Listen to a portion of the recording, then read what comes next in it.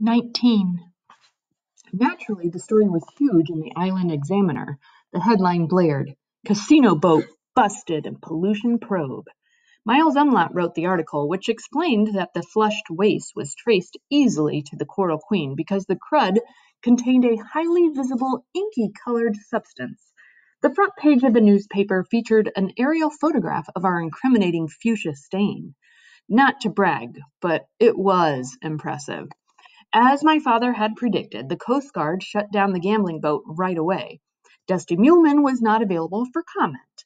Mike um, Miles Umlaut and a couple of other reporters called our house and left messages. They all wanted to interview Dad now that his accusations against Dusty had been proven true. The old Payne Underwood would have eagerly picked up the phone and ranted, but the new Payne Underwood took Donna Underwood's advice and let it ring off the hook. My father didn't need to say anything to the newspaper because everyone in town knew the truth by now. They knew he was right about Dusty after all. The following morning, Grandpa Bobby borrowed Dad's pickup and drove to Miami Beach to surprise Uncle Dell and Aunt Sandy. He said they were really happy to see him alive, but after a while they started acting kind of nervous and weird. They were probably freaking out, trying to think of a way to explain how they'd spent all that money my grandfather had left in the bank box. A day later, he returned to the Keys and stayed with us for a week. One of the neatest times of my life. Even Abby got jazzed.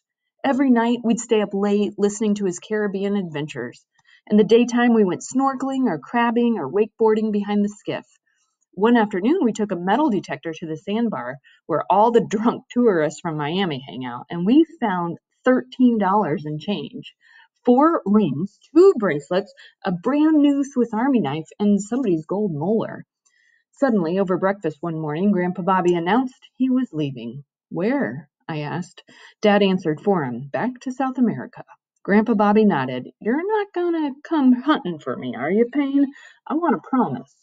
You've got it, my father said, not happily. Grandpa Bobby hitched a silvery eyebrow at my mother. Donna, I'm counting on you to keep this hot-headed husband of yours from running off the trails. Mom told Grandpa Bobby not to worry. We'll miss you, Pop, she said. But why are you leaving? Abby blurted. Why won't you stay here with us? It's tempting, Tiger, it truly is, my grandfather said, but don't forget, the U.S. government thinks I'm dead.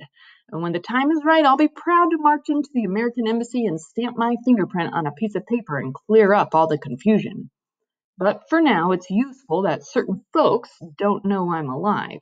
I've got some important business to clear up before I can come home for good. My sister bolted from the table, but she didn't get far. Grandpa Bobby snagged her as she dashed by and pulled her into his arms. He used his faded bandana to dry her cheeks. What if something bad happens? Abby cried. I don't want you to die for real. But I can't live for real until I finish this thing, he said. Please try to understand. He fished something out of his pocket. These are for you, Abby. It's only fair since your brother got the Queen's coin. Abby's eyes nearly popped out of her head. Whoa, she said under her breath. We all leaned in for a close look at the two green earrings. The stones were small, but the color was brilliant, like reef water. Emeralds, Grandpa Bobby said. Mom was dazzled too. I won't ask where you got them, she said.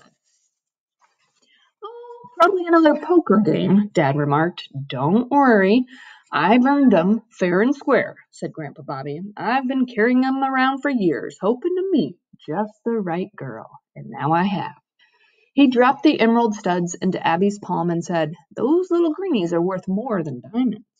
They're worth even more than that, said Abby to me. I'd never seen my sister so excited. After Mom helped her put on the earrings, she ran to check herself out in the hall mirror. Grandpa Bobby said, Abby, you're as lovely as your grandmother was. I only wish you could have known her. He looked at my father, and son, I wish he didn't finish the sentence. Slowly he got up and went out the back door. Through the window we could see him sag against the trunk of our big mahogany tree. He was rubbing his eyes. Do you still remember her? I asked my father. Like it was yesterday, Noah. Then he went outside and put an arm around the old pirate's shoulder. Shoulders. Sometimes my parents make me slightly crazed, but the thought of losing either one of them is so unreal that I can't imagine it. I can't even try to imagine it. All these years, I never considered the possibility that my father, my well meaning but occasionally whacked out father, might be walking around with a broken heart, carrying a pain too awful to talk about. I mean, his mom died when he was a kid. Died. How could anyone be the same afterward? How could there not be a huge sad hole in your life? And how could it not get worse when somebody calls up to say that your father's gone too? The father you idolized, dead and buried in some faraway jungle. So maybe dad filled up all the, that emptiness in another way. Whenever he saw something bad or wrong, he'd just do about anything to make it right, no matter how reckless or foolish. It's possible he couldn't help himself. I think mom understood. I think that's why she's been so patient through the tough times. And maybe dad will be better now that he, he knows Grandpa Bobby is really alive. It's something to hope for, anyway. On the afternoon before he left, my grandfather knocked on my bedroom door and said he wanted to go fishing. We grabbed a couple of spinning rods and headed off to Thunder Beach. The water was crystal clear, and we waded up to our knees. Scads of minnows flashed like chrome spangles in the shallows, and right away we spooked a sna- snaggletooth barracuda that had been hanging motionless near a coral head. Grandpa Bobby started casting a small yellow bucktail, hoping it hopping it through the grassy patches where the snappers hang out. How are you going back? I asked. Same way I got here. There's a freighter leaving Key West for Aruba tomorrow, he said. From there, I'll hitch a ride on a banana boat. You sure about this? Grandpa Bobby said, Oh, I'll be fine. Your mom even packed me a suitcase. Not the plaid one, I asked. Yeah, what's so funny? That's the one she takes out whenever she's thinking about dumping dad. Well, I guess that's not in the game plan anymore. My grandfather tucked the butt of the fishing rod under one arm and took another took out another old photograph to show me. There she is, he said proudly. It was a picture of the Amanda Rose. She was a classic, too. That was taken in Cat Cay, he said, summer before you were born. Wow. She's 46 feet, twin diesels, 800 horses. The gleaming sport fisherman was tied stern first to a wooden dock, where a monster blue marlin hung glassy-eyed from a tall, tall pole. In the picture, Grandpa Bobby's curly hair was so long it looked like a blonde afro. He was poised on a teakwood transom, raising a beer and a toast to the great fish. The dirt bags who hijacked my Amanda Rose, they've repainted the hull and changed her name, but that won't fly, he said confidently because I'll recognize her no matter what. But what if you can't find her? I asked. Oh, I most definitely will, Noah. You can bet the damn ranch on that. He didn't take his eyes off that photograph. I built her myself, started shortly after your grandmother passed on. It was this boat that carried me through those terrible times. That and raising your daddy and his brother and sister.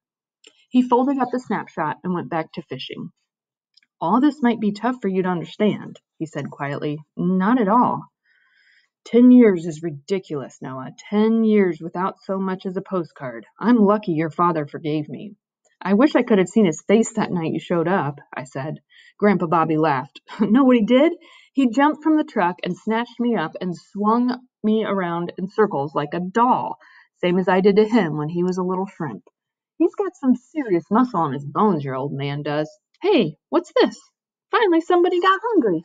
He jerked up on the rod and reeled in a small blue runner, which he tossed back. He caught another one on the very next cast. Hey, aren't you gonna fish? he asked me. Sure. I threw my bucktail into the deeper water and started bouncing it along the bottom. How come you're so quiet? he said.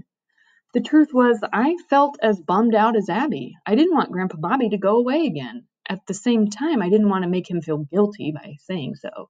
He said, You don't believe I'll ever be back, do you? I'm worried, that's all. It was impossible not to worry. The knife scar on his cheek was a pretty strong clue that the men my grandfather was chasing were not model citizens. Whatever else they say about me, champ, I do keep my promises. Yeah, but hey, are you snagged on a rock? No, I don't think so. It was a fish. As soon as I get the set the hook, it smoked 30 yards of line off the spool. Grandpa Bobby whistled. Probably just a big jack, I said. Want to bet? The fish fought hard, dogging back and forth across the flats. It made several more zippy runs, one between my ankles, before I was able to steer it to the beach. My grandfather was right. It wasn't a jack. It was a fat pink snapper. Triumphantly, he pointed at the black telltale spot on its side. That's a muttonfish, Noah. Sweet, I said. It was the best snapper I'd ever caught. How big do you think it is? He smiled. How big do you want it to be? Just the truth, I told him. The truth? Six pounds, he said, but that's still one hell of a catch on a bucktail jig from a shoreline. I held the fish still while Grandpa Bobby unhooked it. You have to be super careful because snappers can bite through a human finger, no problem. Noah, you hungry? I'm not. Me neither. Good, said Grandpa Bobby. He nudged the fish back into the water. It kicked its tail and tore off. Must be some kind of mystic underwood karma, he said. This looks like the very same spot where I caught that nice mutton with your daddy. Gotta be twenty-five, thirty years ago. How big was yours again? I knew it was either 14 or 15 pounds, depending on who was telling the story. I was curious to hear which version Grandpa Bobby was in the mood for. He said, your daddy recalls it as 14 on the button, and his memory's likely better than mine. Still a beast. Yeah, but you got your whole life to catch one bigger. You'll do it too, there's no doubt in my mind. Because of the karma? Something like that, he said. You done fishing? I think so. Me too. We put down our rods and sat on the sand. With the change of a tide, change of tide, a breeze had picked up, kicked up, blowing in from the direction of the lighthouse. We could see two tankers and a cruise ship, all northbound in the Gulf Stream. Another loggerhead turtle surfaced on the chop in the chop off the beach. It was twice as big and crusty as the one I'd seen with Abby and Shelly. This time, though, I didn't need to jump in and scare it away. Today, the water looked perfect, the way it was a million years ago before people started using the ocean as a latrine. Today, it was awesomely pure and bright and totally safe for an old loggerhead to browse the grassy flats chow down, chill out, take a snooze. Don't be surprised, Grandpa Bobby said, if one sunny day you're swimming here at the beach or maybe just taking a stroll with some girl when a certain magnificent 46 footer comes hauling ass over that pearly blue horizon, yours truly up in the tuna tower. The thing was, I could picture the moment perfectly in my mind. All I had to do was close my eyes, and there was Robert Lee Underwood, streaking across the waves and the Amanda Rose. Nah, no, I'm not telling you to sit around and wait for me. That would be downright pathetic. He laughed and chucked my arm. All I'm saying is, don't be surprised when the day comes. I won't, I said, not even a little bit.